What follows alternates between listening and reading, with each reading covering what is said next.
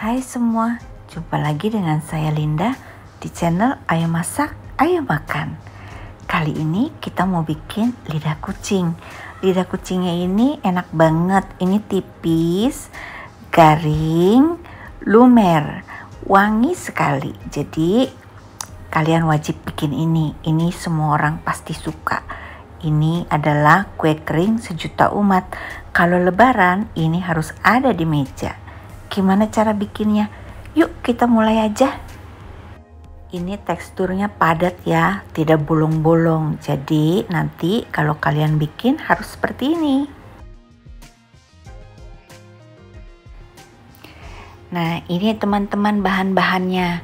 Kalian tidak harus pakai bahan-bahan yang seperti saya pakai. Ada yang bisa kalian ganti, silakan kalian ganti. Sebelum mulai, kita lihat cetakan punya saya dulu ya. Ini cetakan yang saya baru beli. Cetakan ini dipakainya enak banget, dia nggak nempel.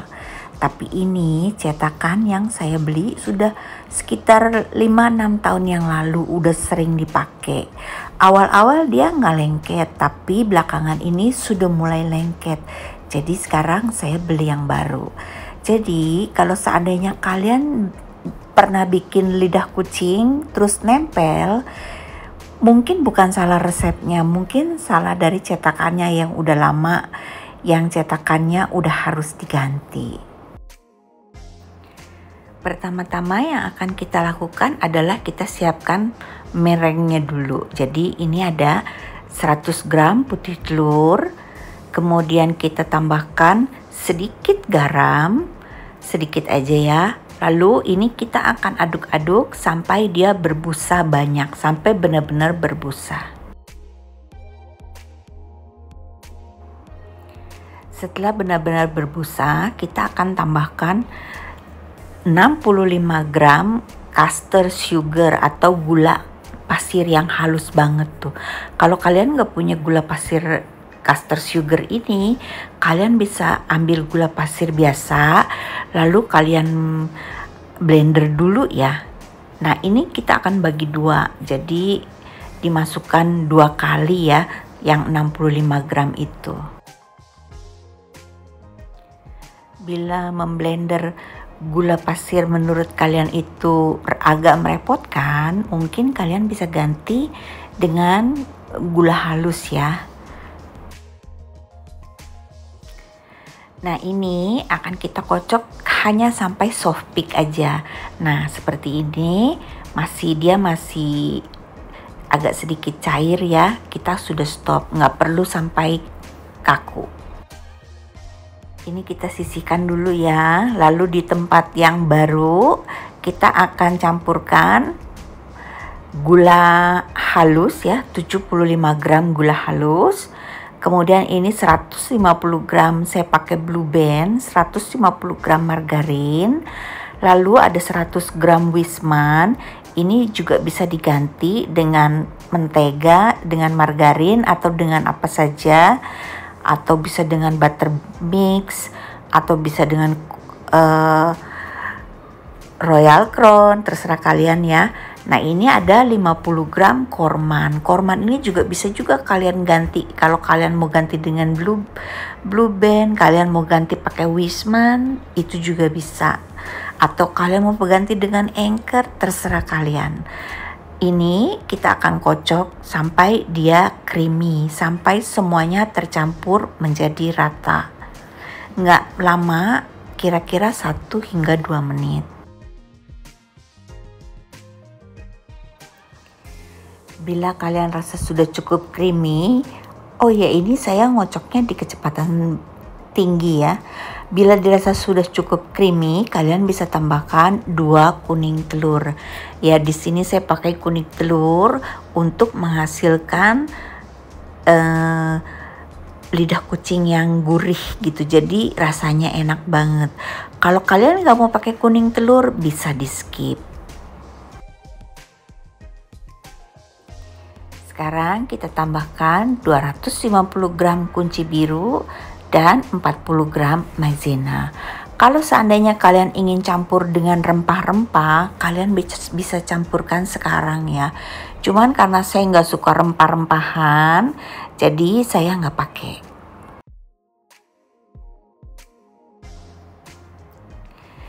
Di sini juga kita kocoknya nggak perlu lama, yang penting udah sampai benar-benar tercampur dengan rata saja ya.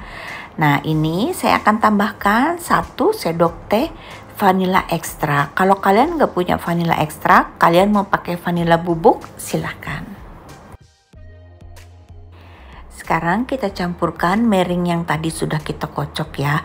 Oh iya meringnya ini kita kocok dengan speed rendah ya teman-teman. Supaya gulanya sempet larut. Karena kalau kalian pakai speed yang tinggi, kalau kalian mau tunggu sampai gulanya larut, itu dia udah keburu stiff peak gitu. Jadi kita kocok dengan kecepatan rendah untuk putih telurnya ya. Nah ini akan kita aduk sampai dia benar-benar tercampur rata. Jadi kalian nggak usah ragu, nggak usah takut, aduk aja. Ini harus rata ya. Ini juga menentukan apakah uh, lidah kucing kalian itu lumer atau enggak. Jadi harus benar-benar aduknya rata. Kalau nggak rata nanti dia banyak berongga, banyak bolong-bolongnya.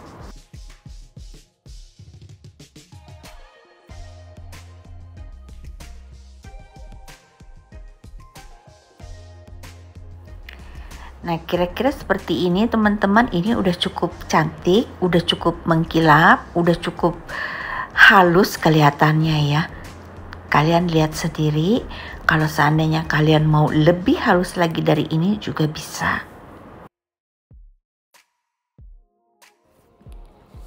Ini akan kita masukkan ke dalam plastik segitiga ya.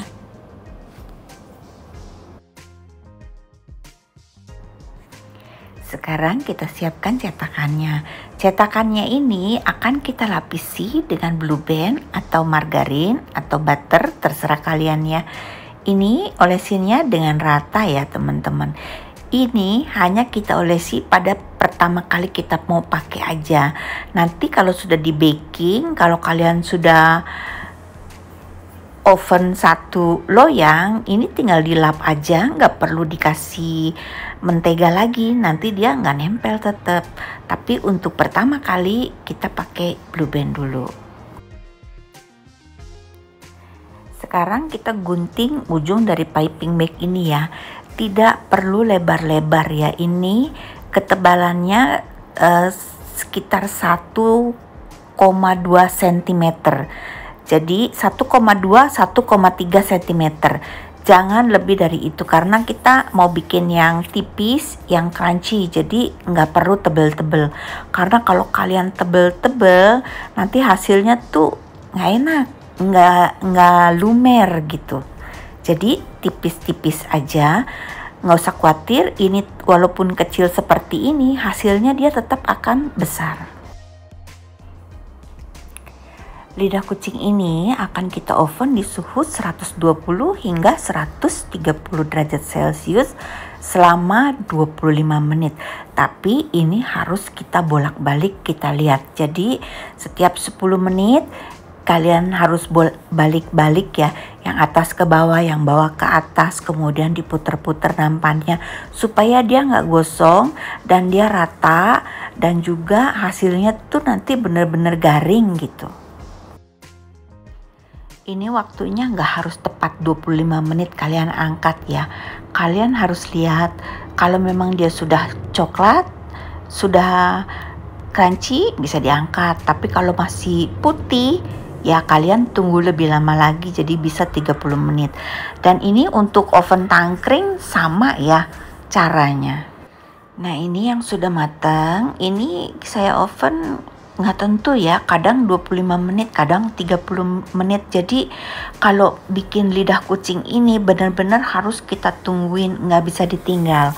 Kalau saya sedang kerjain lidah kucing saya nggak bisa kerjain yang lain. Karena benar-benar saya harus ada di depan kompor saya harus bolak-balik saya harus liatin terus supaya dia nggak angus. Karena ini cepet banget angusnya Untuk buka lidah kucing ini kita tunggu sampai dia sedikit dingin ya. Sampai bisa kita pegang pakai tangan. Jadi kalau dia masih panas nggak bisa copot. Agak keras gitu. Tapi kalau sudah sedikit dingin Sudah bisa kita pegang dengan tangan ini nampannya dia gampang sekali. Kalian bisa lihat ini benar-benar nggak nempel. Karena ini loyangnya masih baru banget jadi kalau loyang kalian lidah kucing kalian tempel coba kalian perhatikan loyang kalian masih cantik atau udah harus diganti.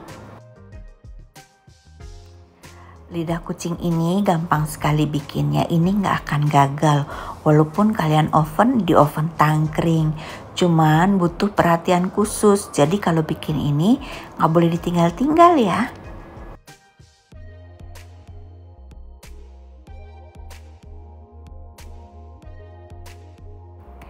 dan seperti yang tadi saya bilang di awal kalau seandainya ini udah di bake pertama Nanti keduanya udah nggak perlu lagi diolesin mentega. Cukup kalian bersihkan aja dengan tisu seperti ini. Ini kalau sudah bersih, udah siap di piping, nggak perlu lagi dikasih mentega. Seperti yang kalian lihat ya, pipingnya gak usah tebel-tebel karena ini yang akan menentukan lidah kucing kalian e, lumer atau tidak. Nah, sekarang kita akan masukin toples. Toples yang kita pakai adalah toples ulir ya, karena lidah kucing ini gampang banget melempem. Jadi kita perlu toples yang uh, bisa menahan udara masuk.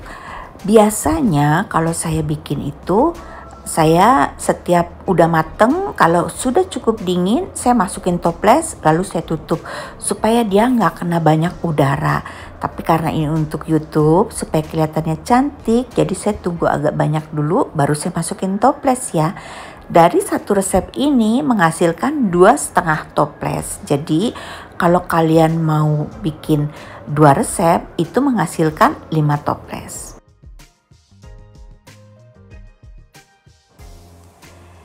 masukin lidah kucingnya ini pelan-pelan aja karena dia gampang patah karena ini benar-benar tipis jadi dia gampang patah. Kalau seandainya patah kalian bisa keluarin dengan tusuk gigi ya. Cuman di sini karena saya udah takut keburu kesorean ada yang patah saya diemin aja. Seharusnya nggak boleh ya. Waktu ngisi ini harus benar-benar padat. Jadi kalian tepuk tapi tepuknya jangan kenceng-kenceng ya. Pelan-pelan aja tepuk-tepuk sayang gitu supaya dia nggak patah. Ini nanti dia pelan-pelan bisa masuk. Kalau seandainya dia longgar, pada saat traveling, pada saat kita kirim ke customer kita, nanti sampai sana hancur lebur. Jadi ini penting banget ya pada saat kalian ngisi harus benar-benar kalian pastikan bahwa ini udah padat sekali. Jadi kalau dikocok-kocok juga dia nggak bergerak banyak gitu. Jadi pelan-pelan aja kalian cari kira-kira mana yang masih bisa diisi lagi. Kalau sudah benar-benar penuh baru kita tutup ya. Kalian lihat ini walaupun kelihatannya udah cukup penuh, udah cukup padat, tapi kalau kita isi lagi dia masih bisa gitu. Jadi pastikan kalian isinya benar-benar padat supaya customer kalian gak kecewa yang beli gitu sampai tempat masih tetap utuh. Tapi juga jangan dipaksain kayak saya gini ya, akhirnya pada hancur juga. Kalau sudah hancur seperti ini, harusnya dikeluarin terus kita isi lagi ganti lagi dengan yang baru. Cuman karena saya agak sedikit-sedikit terburu-buru waktunya dengan matahari jadinya udahlah saya biarkan saja. Kira-kira seperti ini hasilnya teman-teman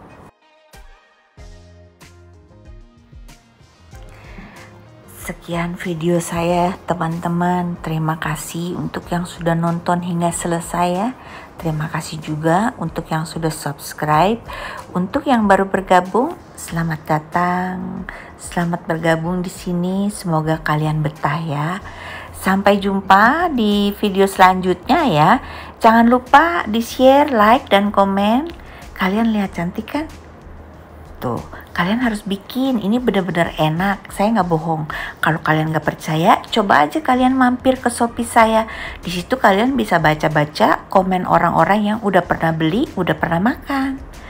Bye, sampai jumpa.